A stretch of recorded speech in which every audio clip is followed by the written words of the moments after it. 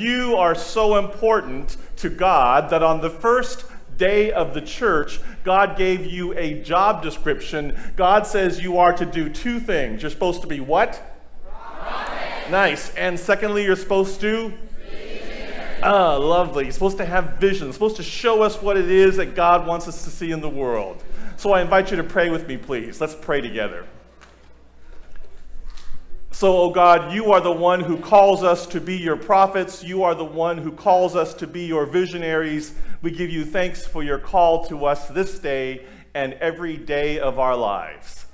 We thank you that your call is not dependent upon us, not dependent upon our even recognizing or hearing your call. Your call comes from you, and you are a God who is persistent, relentless, we heard, in pursuing us and loving us no matter what.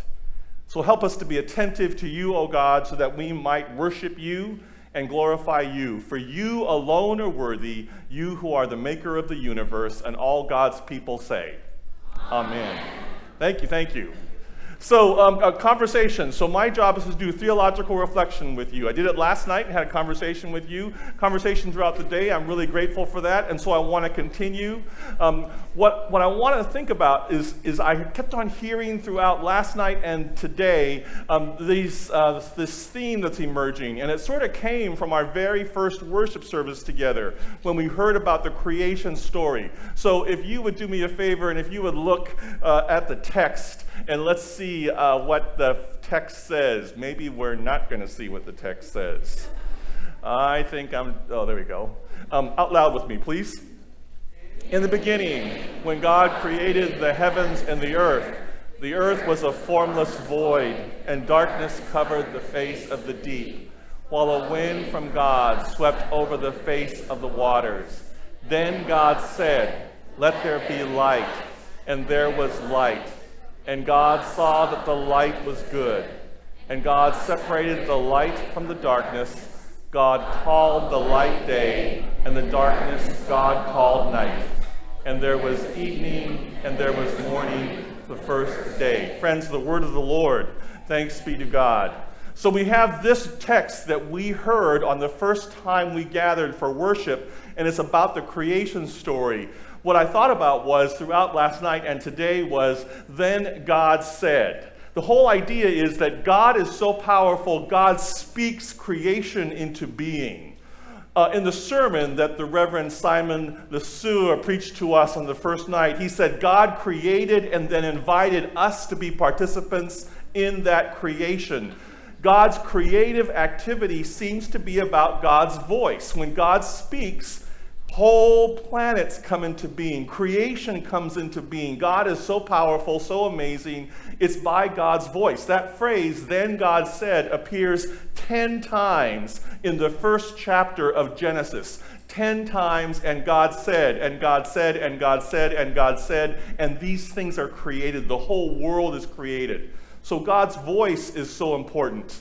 So, what that occurred to me was our conversations about voice and silence I kept on thinking about the sermon last night from the Reverend Karen Georgia Thompson and what Aiden said to us this morning. And I thought about, we kept on hearing the theme of voice and silence.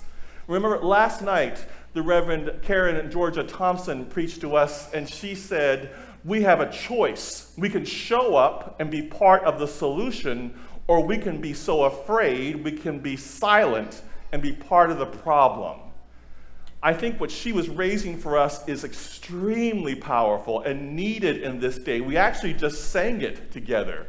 In our theme song, you have a choice. You can use the voice that God has given you when God created you, spoke you into being, or you can choose to be silent. You can choose to be part of the problem. You and I make those choices every single day. When we encounter meanness and bullying, and persons who are doing evil and hating on other people, we have a choice. We can be part of the solution, we can speak up, or we can be silent and part of the problem. And then this morning, in the conversation that we had with Aiden, which was remarkable in and of itself, um, Aiden, oh hey, by the way, so so general council happens how, every what? How many years? three years. Huh. And at General Council, there's another moderator elected. So our moderator, her term will finish with this next General Council, right? Yes. And there's another moderator who will be elected for the church. Is that right? Yes. Now, is there, is there by any chance in your rules a prohibition about how old a person has to be to be the moderator of the United Church of Canada? Is, is there? I, I don't know. I, I don't know. Do you have to be a certain age to be moderator? Oh, really? Huh. Well, I'll be darned. I was actually talking to the General Secretary this afternoon, the General Secretary, Nora, over there, and Nora Sanders was saying to me, Rodger, the way Aiden described the structure of the church in three and a half minutes, there are pastors who couldn't do that.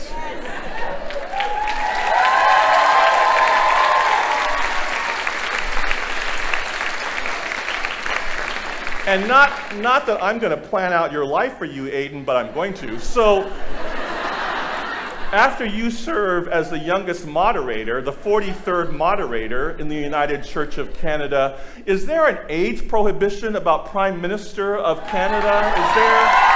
I mean, do you have to be a certain, I, I don't know. So, so, you know, Aiden, we can work this out. I mean, you're studying politics and religion and French. I mean, this is God's calling upon your life.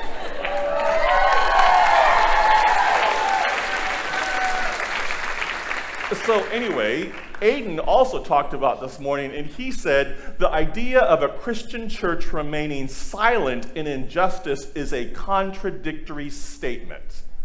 The idea of a Christian church remaining silent in injustice is a contradictory statement. And then he also said, How can we call ourselves followers of Jesus Christ if we remain silent in a world so deeply riddled with evil? There's great wisdom there, both from the Reverend Karen Georgia Thompson and from the future moderator and prime minister. By the grace of God, that you and I, as the Church of Jesus Christ, cannot remain silent. Otherwise, we give away any sense of our authority to speak truth into the lives of children and young people and women and men in this world and around the entire world. So, part of what I'm convinced about in these days is that there are others who've spoken these same kinds of words. In his letter from a Birmingham jail, Martin Luther King Jr. said, History will have to record that the greatest tragedy of this period of social transition was not the strident clamor of the bad people, but the appalling silence of the good people. Karen and Aiden and others are giving witness to the same thoughts that MLK Jr. had.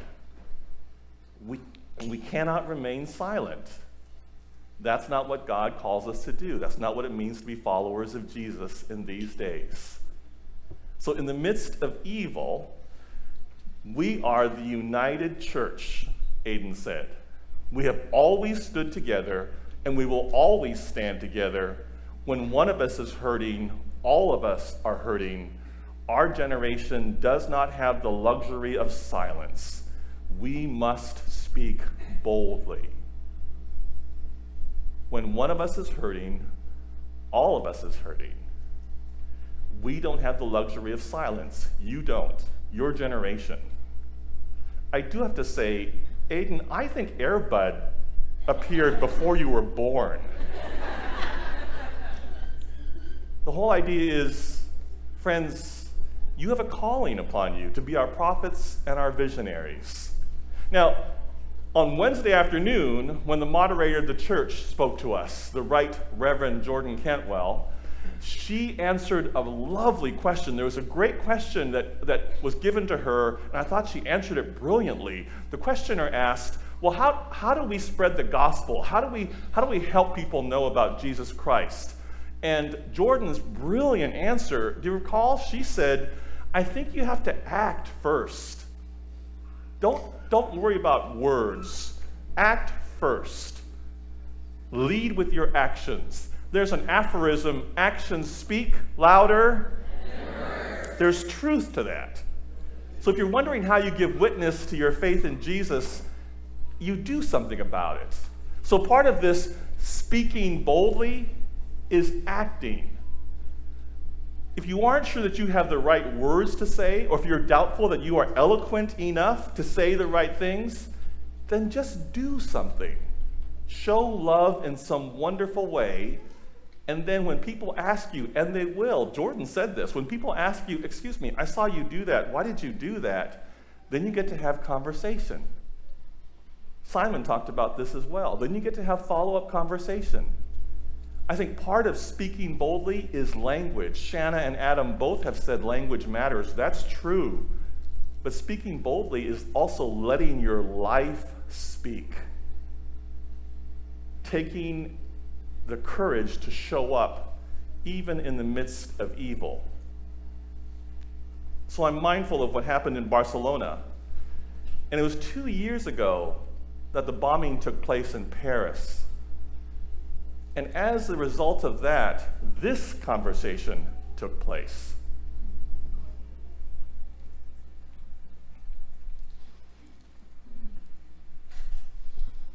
Tu comprends ce qui s'est passé? Tu comprends pourquoi ces gens ils ont fait ça? Oui, parce qu'ils sont très très très méchants. Les méchants, c'est pas très gentil les méchants. Et il faut faire vraiment attention parce qu'il faut, il faut changer de maison. Mais non, t'inquiète pas. On n'a pas besoin de changer de maison. C'est la France, notre maison. Mais il y a des méchants, papa. Oui, mais il y a des méchants partout. Il y a des méchants partout. Ils ont les pistolets, ils peuvent nous tirer dessus parce qu'ils sont très très méchants, papa. C'est pas grave, ils ont des pistolets, nous on a des fleurs. Bah les fleurs, ça fait rien, c'est pour, c'est pour, c'est pour. euh, Si, regarde, tu vois, tout le monde pose des fleurs. Oui. C'est pour combattre les pistolets. C'est pour, c'est pour protéger. Voilà. Et les bougies aussi. C'est pour ne pas oublier les gens qui, se, qui sont partis. hein. C'est pour nous protéger les fleurs et les bougies.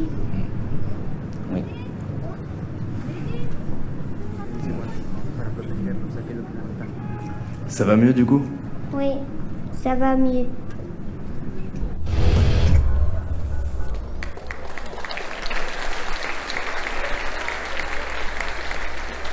Now, on the face of it, it sounds completely absurd. Really. That flowers and candles can stand up against guns. But that's part of what it means to speak boldly, that Aiden asked us to do. Flowers and candles are more powerful than guns because each flower, each candle represents one person's voice. It represents one person who is standing in opposition to evil. Given what happened last weekend in Charlottesville, Virginia, this is what happened on Wednesday night. There were five, over 5,000 persons who stood on the University of Virginia's campus, candles and flowers against hate. This is what happened nine hours ago in Barcelona. Candles and flowers against evil.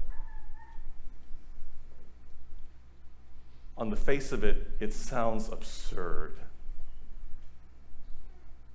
But you don't have the luxury of silence. None of us do. We must speak boldly. Friends, the church is desperate for your voice. We need your beautiful voice and your courage. So I'm asking you use your voice. Just use your voice. Do something. Just show us what it means to be the church of Jesus Christ in this day and in this age. For God's sake. Literally. And for the sake of the church.